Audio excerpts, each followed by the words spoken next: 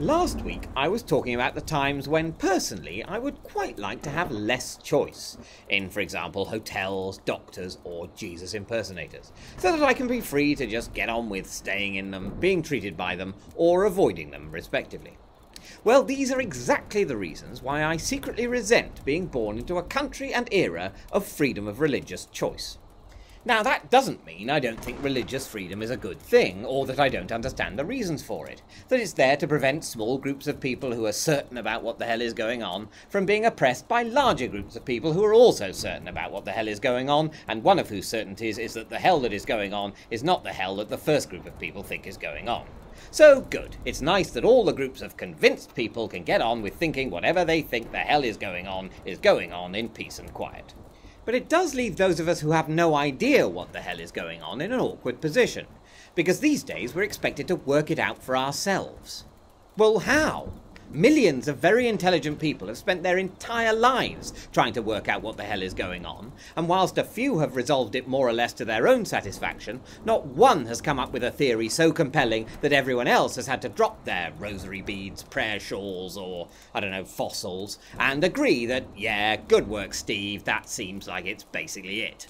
In fact, whatever the hell you may think is going on, and whatever the hell actually is going on, surely we all have to admit that the lack of a majority consensus means that most people in history who think or thought they knew what the hell was going on were, by definition, wrong. So what chance have I got? I'm an actor, writer, and opinion haver. But the opinions I have are about what you ought to say at the end of telephone conversations, not about the root and purpose of the human condition. And what I envy is the luxury most of my ancestors presumably had of there being a generally accepted answer in their community which everyone was expected to follow, but no one was expected to work out. If they fancied having a crack at working it out, of course, they could become a priest, rabbi, or druid. But if, like me, they felt underqualified and daunted, it was perfectly acceptable to say, well, I'm a fire worshipper, obviously. I was born a fire worshipper, my family are fire worshippers, so like everyone else, I go along to the fire every Wednesday, worship it for a couple of hours, stick a fiver in the collection plate to go towards anthracite, and then the rest of the time get on with writing comedy sketches and expressing my annoyance at falling standards in Downton Abbey. In those days, you didn't expect, ask for, or try to find proof for what the hell was going on, any more than I now need or look for proof of how a cathode ray tube works. I'm equally ignorant about both. I can no more work out how we came to be and what we should do about it now we're here than I could, left to my own devices, work out how to broadcast a coloured moving picture into a box.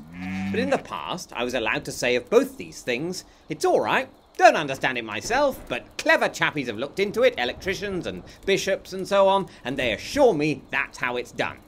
But now, thanks to the cruel tyranny of not living in a cruel tyranny, I'm only able to say that about my TV and not about God.